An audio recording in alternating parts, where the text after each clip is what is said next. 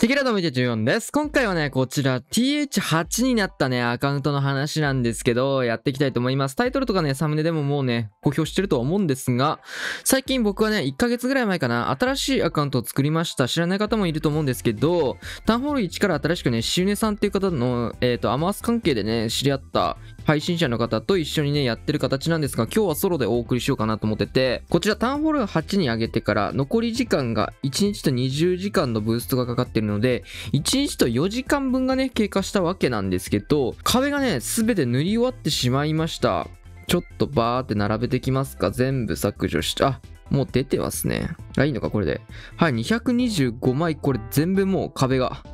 真っ黒クロスケになってきました。はい、というわけでね、並び終わったんですけど、めちゃくちゃこれが稼ぎやすい今、タウンホール8。びっくりした。上げてね、1日でもこの紫っていうかもう新しい壁がね、50枚追加されたんですけど、木の壁、レベル1の壁からね、それがもう暇だから上げとこうっていうので、塗ってるだけでもうカンストしたんですよ。最後の方はちょっとね、壁メインで余ってたゴールドを回す形にはなったんですけど、一瞬で黒壁全部終わってしまいました。タウンホールは8上がって1日で黒壁全部上がってしまうぐらいなので、今ね、本当にクラクラやりやすいので、サバカー作ってる方もおすすめですし、今多分このぐらいの人たちもね、僕と一緒の、僕らの動画でね、始めてくださった方は多分その辺だと思うので、まあ、どういう編成だったり、どういう感じで攻めていくのがいいのかっていうのをね、少し解説しようかなと思ってて、まあ、基本的にね、エリクサーがこのタウンホール78ぐらいって余ります。なぜかっていうと、序盤エリクサーを使うものは多いんですけど、壁ってゴールドでしか塗れないんですよ。これね、タウンホール9のレベルになると、壁でもね、逆や、エリクサーでも壁が塗れるようになるんですよ。ここからがもう全く違う。エリクサーもえー、壁に使えることができるので、エリクサが余るってことがないんですけど、基本的に普通にやってる人は、研究の時間も長いですし、まあ、序盤のキャンプとかエリクサ、えー、金庫とかね、その辺の上げ切ったら、もう弊社とかもそうだけど、基本的にエリクサのやることって弊社を上げる、弊社を上げることと金山と、まあ、ダークエリクサポンプぐらいで、あと全部ゴールドなんですよ。もうすげえゴールドが必要な割になんかエリクサーの必要量って結局研究ぐらいでしかやることなくて、しかも期間が長いからエリクサーが余るっていうルーチン。うん。ルーティンっていうのかわかんないけど。で、キングももう9から10なので、もうラストのところです。はい。で、ダックエリも余るでしょ？もうそうなると本当にゴールドだけが必要なんですよね。つっても大工がね、結局5人しかいないので、隙間時間でね、えっ、ー、と、壁を開いたところでブースト、あ、じゃねや、ポンポンポンポン塗ってあげるって形で、まあ最後のはちょっと壁を意識して、パンパンパンパンって仕上げたんですけど、一瞬で終わりました。編成何やってるかというと、こちらですね。ドラゴンラッシュ。これがね、めちゃくちゃ稼げる。うん。エリクサーをが余るんですよ。さっきも言った通り。なので、エリクサーはね、いくら使っても黒字になります。どっちにしろ、エリクサーいらないから。エリクサーの使う先がなくて溢れるぐらいならエリクサー使った方がよくて、まあ、ドラゴンラッシュっていうのが一番エリクサーを使う上で強いかな。そう思います。特にタウンホール上げたばっかりだと、ラボのレベルを上げてしまえば、タウンホール8マックスのレベルをね、いきなり使えることができるんですよ。このパワーブーストっていうものでね。この期間中にできるだけやった方がいいです。はい。で、前回も当然取るんですけど、基本的には同角ぐらいしか前回は狙わなくて、こんな感じで星1ばっかです。なぜかっていうと、基本的に攻めてるのがタウンホール10とか11とか9とかだから。うん、11は持った。9とか10ばっかです。うん。基本9になるかな？でも端っこにある施設とか放置村のね、端にあるようなやつを多分買って帰ってきてるような感じだと思う。これもタウンホール9で、えっ、ー、と、外周部にしか資源系のものがないから資源を狙ったドラゴンラッシュを展開するんですよね。で、天才でま、まあ、ライトニング5発で対空砲が来れるようになってるので、まあ、外周部拾って帰ってくるみたいな感じですね。もうこれがめちゃくちゃ強いです。後で実際に見せようかなと思うんですけど、もう、タンクがね、タンクとポンプぐらいにしか中身がないので、ちょっとこのレイジ恥ずかしいからやめよう。こんな感じで外周部、削って帰ってくるっていうのを繰り返してるだけ。これとかもすごいね。資源量えぐいな。あー、これはもう9カンストや。9カンストで溢れきってる、ありがたい、ゴージャスな村ですね。こういうのも、なんだろう。こっちサイドの削れるとこ削って削れるとこ削ってで、ピンポイントでね、狙える資源系の施設を狙ってあげる。で、ライトニング5発とレイジが1発持てるようになってるので、まあ一番ね、ドラゴンが固まってる重要度が高いようなところにレイジを使ってあげるってことで、タウンホールの8の戦力でもタウンホール9カンストの村でも、これだけの資源を取ることができるんですよ。ぶっちゃけタウンホールとかわざわざ狙いに行かなくていいですね。こんな感じ。資源さえ取れれば全く問題ないです。これをね、繰り返してるだけでもう、これはちょっと放置村のクロスボウが死んでるんで、簡単なんですけど、タウンホール級の基本的にやっぱエリクサタンクとかエリクサ、逆やエリクサポンプとか金山って真ん中に置く人ってやっぱ少ないんですよ。防衛施設は真ん中に置きたくて、タウンホールとか金庫とか、えっ、ー、と、まあ、クロスボウとか、まあ、タウンホール級なんですけど、まあ、重要な防衛施設と金庫だったり、タウンホールだったりっていうのを真ん中に置くっていうのが多いんですけど、そうなると、えー、エリクサポンプとか金山って外周部に置かれるんですよ。その外周部にあるやつをドラゴンで刈り取ってあげようっていうのがこの編成のコンセプト。まあ、ファーミングやる上でね、基本的にはそういうのを削るのが強い編成っていうのがファーミングで強いと言われる編成なんですけど、まあ、ドラゴンって基本すぐには知らないので、さすがに。これって見たかな？これもすごいね。ああ、対空砲が真ん中にあったやつか。これもだからほら、放置しちゃった村って、エリクサーとか、あの、金山とかにめちゃめちゃ溜まってるんですよ。見た目でわかるの。ああ初心者、始めたばっかの方はね、まだわかんないかもしれないんですけど、残りの量って見ればわかるようになってるので、うん。こんな感じで。ま外周部にあるの刈り取ってあげて、このアーチャーターがあるんでね、ここはちょっともう捨てる形にしましたね。このアーチャーターを壊さないといけないんですけど、逆サイドの方が美味しかったんで、まあ最悪ここ取れなくてもいいかなって感じで、逆サイドにある逆に言うとここ2つ以外の金山とエリクサーポンプ、金庫だったりを全部刈り取ってあげるってところで、まあ、基本的にタウンホール8から9へのアタックになっちゃうので、まあ、どこかは妥協しないといけないっていうのは頭に置いといた方がいいです。8から9のアタックはね。基本無理かな。さすがに9相手に全開取るっていうのは厳しいので、なかなか。うん、あー、これめっちゃ美味しいな。行きましょうか。一発目これめっちゃ美味しいんで行きましょう行きましょう。これで、ライトニング5発どこに打つかなんですけど、どこを折った時にバリューが一番でかいかって感じで、で、今回、ちょっと、基本はね、対空砲に打つのがベストなんですけど、あ、ここ巻き込み。こいつ美味しいなどう考えてもここなんだよなうん。これ何発で壊すんでしょうね。あー、5発必要なんだ。これだけでもダークリ、今いくつ取ったんだろうわかんないけどめっちゃ取れましたね。っていうレベル。うん、ここはガゴ1で取れるね。まあ、アッチャータワーがちっちゃいので、このガゴ1体でこの辺全部刈り取れるじゃないですか。なのでこれはガゴだけで分担してあげて、こっちもガゴ1でこのエリクサー全部取れますね。上はどうだろうな。これって届く？うん、届かないならこれアーチャーで全部回収ができるので、そうなると担当するべきものは、あとここの2つなんですよね。ここの2つはドラ1体で勝てるので、ほっといて、えーと、そうなると、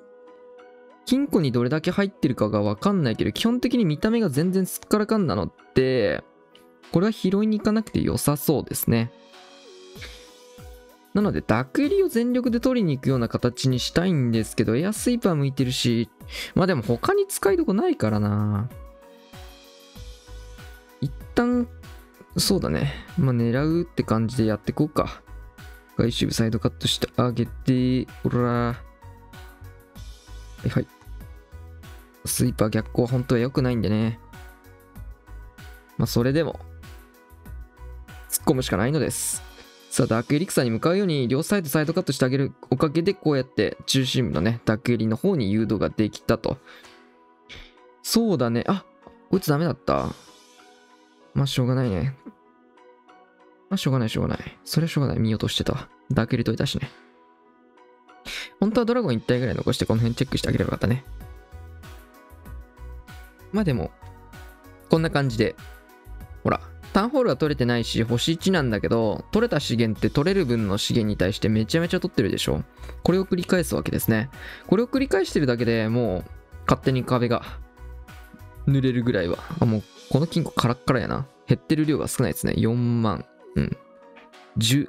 1桁単位でしか減らん、これ、攻撃してんの。援軍も使わず、僕、ババキン着工してるんで、ユニットだけでこれ、タウンホール9相手に取れるんですよ。これにバーバリアンキングが帰ってきて援軍使えば、まあワンチャン全開とかも狙えるような話になってくんですけど、まあ使ったところで取れる資源量が増えるかっていうとそうではないので、まあ結局、なんだろうな。その村に対して一番資源を取れるかどうかっていうのが編成において大事かな、ファーミングにおいて。うん。まあ、基本的に、まあ僕はね、もうクラクラ何周分もしてると思うんで、このタウンホール8とかその辺の、あれに関すればね、まあこういう取り方はしてます。基本的にダックエリもすごい量取れてると思う。3400、3000超えるところが多いかな。4000超えるところもありますね。これって見たっけ？あー、これさっきのやつか。はいはいはい。まあ、リーグもね、えっ、ー、と、今ゴールド2のところまで来ましたけど、うん、ダクエリもエリクサーポンプもエリクサーも余るような感じ。昔ね、俺が現役時代のタウンホール8の時は、ダクエリが余るなんてことは絶対になかった。ダクエリ枯渇して、結局ね、ババ金を10まで上げれずタウンホール9に上げた記憶があるんですけど、今はめちゃめちゃババ金の値段が安くなってるし、集めやすくなってるし、昔ダークエリクサーポンプって1個しか作れなかったし、そういう意味でもね、かなり改善されてるかな。準備期間も値段もね、着工の値段も安くなってるし、マジでね、タウンホール8とかまで、9とかまではね、効率のいい、まあもっと10とか11もそうなんだけど言っちゃえば、効率のいい資源狩り編成を覚えて、徹底するっていうことが大事ですね。まあもちろん数回すことも一番、が一番確かに大事なんですけど、どれだけね、数回したところで、大した資源も取れなかったら結局意味ないので、たくさん取れる村を頑張って探して、そこに対してぜ、なんだろう、毎回取れるようしっかり全部取って帰るっていうのが大事ですね。こういうのも、もうめちゃめちゃ格上なんだけど、全部壊さなくていいから、外周部にある、あの、施設だけ壊せばいいんですよ。これ、どうだろうな。普通の人多分これ美味しいと思って攻撃すると思うんですけど。まあ、いっか、これでも。うん。そんなに美味しくないけど、まあいいや。まあ、美味しい、あれには入るね。もはやこのライトニング対空砲に撃たなくていいもんな。どこ撃つ？これここじゃね？どっちだろうな？どっちの方が美味しい？あんま変わんないか。ほい。ほい。ほいほいっと。うん。ほい。ほい。ほい。余るね。で、アーチャーとかガーゴイルとかね、こういうピンポイントで刺せる、はい、ところがあるので、細かく動きたいところ。ドラゴンって1枠、1対20枠なんで、結構重い、うん、小回りの効くユニットの方がいい時ってあるんで、さこういうところみたいにね、アーチャーでピンポイントでポンポンって刺してあげるような形。こうすると、あとゴールドが余ってるらしいんですが、金庫狙いに行きますか？じゃあ、暇だし。バルも持ってるしね。で、レイジも。えどうせエリクサなんで、押しまず使っちゃって OK です。はい。今回も援軍もキングもなしで、大方、外周部にある防衛施設じゃないや、資源系のものを借りましたね。ということで、で、あ、そうだ、ドラゴン系のいいとこは、この50%のリーグボーナスももらえることですかね。基本的にこういう使い方してれば、50%超えて星1が獲得できるので、まあ、リーグボーナス右側に出てますけど、まあ、1万ちょっとのリーグボーナスっていうのも確定で入るっていうところかな。まあ、このままずっとやってればトロフィーももうちょい上がって、まあ、ある程度高いところでも、まあ、いい感じにリーグボーナス稼ぎつつ、シンプルに資源も稼ぎつつっていうのがね、できるんじゃないかなと思ってて、これはね、タウンホール7の時から僕最後の方からずっとドラゴンラッシュでファーミングしてたんですけど、タウンホール7、8はドラゴンラッシュで上げるの非常におすすめかなと思います。めっちゃ稼げたよ。